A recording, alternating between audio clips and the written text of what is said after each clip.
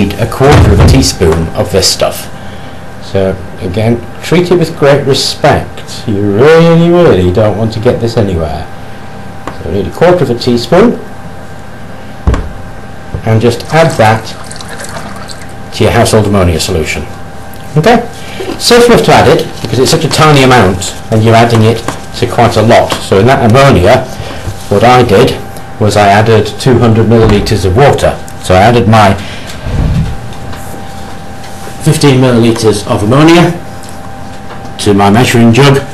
Then I added uh, 200 millilitres of water and then I added my quarter of a teaspoon of sulfuric acid in there. Okay what we're making there basically is ammonium sulfate. And that's done. So the next thing that we need is adding to there is our sodium hydroxide. Okay now the amount of sodium hydroxide we need is 7 grams. So I've put my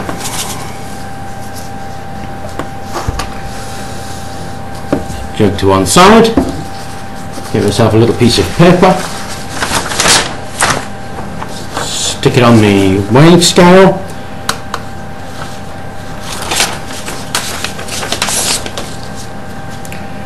Okay, so that's on the weighing scale now, and now I need seven and a half grams of caustic soda on there. So seven and a half grams of caustic soda, oops, really isn't very much. And I'm just making a bit of a mess of that. What I'm going to use instead, a little cup.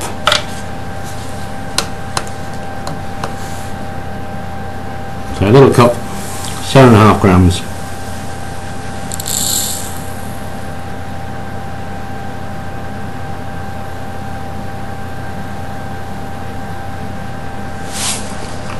Okay, and that's what seven and a half grams of caustic soda looks like.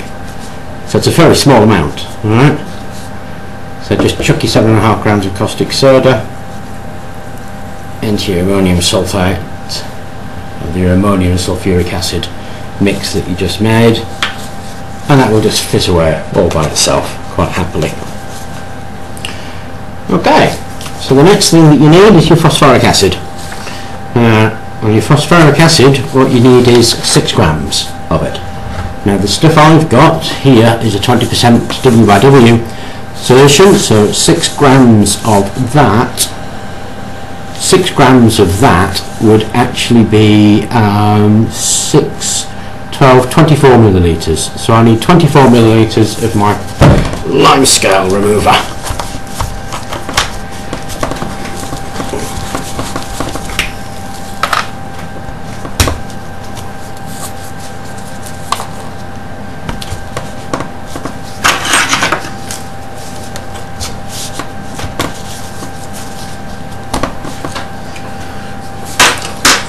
So here is my spoon, with my 5 milliliter spoon, and we're going to add one, two, three, four. Okay, and that's my phosphoric acid added. Just clean up here a bit.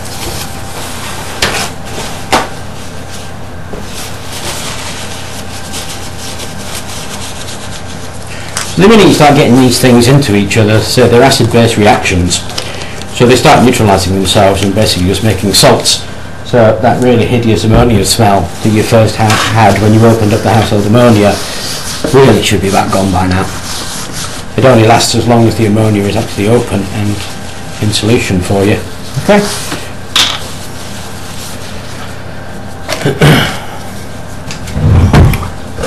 So here is my mix, my 200 milliliter mix, and just give it a stir. And as I say, this is actually ceasing to be dangerous. It really is just a, a, a load of salts and ions in solution. Okay. Now the next thing we're going to need is our 250 millilitres of our rust remover. Now at the moment what I've got in there is uh, just under 200 so I'll just top that up with distilled water to 200. There we go, it's now at 200. I need 250 millilitres of this, so that will be done when that reads 450 millilitres. Lovely green colour.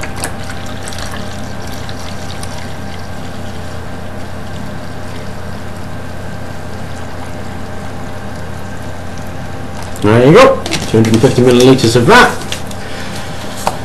And then we need to finish that off now, up to a litre.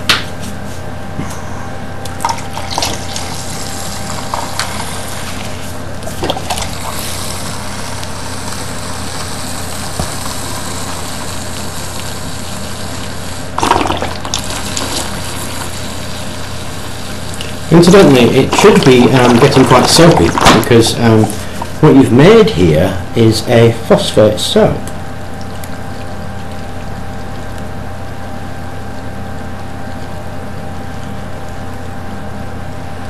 One meter. Okay, so one meter that.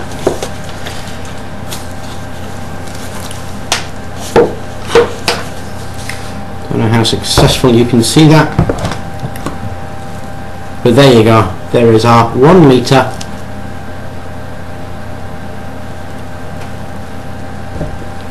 that is our electroplating brush solution. So I'm going to put that into a container.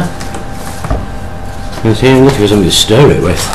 We're going to put that into a container, label it up, put it to one side for when we want to come and um, start electroplating with it. Okay. So this solution, remember, will do just about any kind of electroplating that you're looking to do. So it will plate copper onto steel, copper onto aluminium, uh, brass onto aluminium, gold onto steel, gold onto zinc. So it's, it's a universal plating solution and um, it really cost, I imagine, be about two or three pounds, something like that. It's not very expensive at all. Okay. So there it is, the plating solution, all neatly bottled up in the old water bottle. Uh, it's kind of a green colour, as I say, it's you can use that with any combination of brush or metal within reason, uh, and that's what we're going to do next, well, uh, in a few minutes. There are a few other chemicals, as, uh, as I said at the beginning of the video, that you're going to need, and there's a chap who does uh, quite a good video going through how to make the um, nickel activator, which is hydrochloric acid, and um, the chrome stripper which is sodium hydroxide and the electro clean solution which again is uh, another sodium hydroxide solution. So they're relatively simple to make. Have a look at his video. But again um, the source of your sodium hydroxide is any any B&Q or um, do-it-yourself store. Buy a bottle like that and you get all the sodium hydroxide you're going to need. Um, the hydrochloric acid is a, a, little bit more difficult but um, spirits of salts it is what you're going to be able to buy here in the UK at 32% so I think he uses 75% um, so you're going to be about a half so you're going to have to double his quantities to, to be able to make that. There's a good video on those other things so by all means have a look at that. Um, and that's the solutions together and ready. So the next thing that we're going to need is um, to make the actual brushes themselves and that's what we're going to do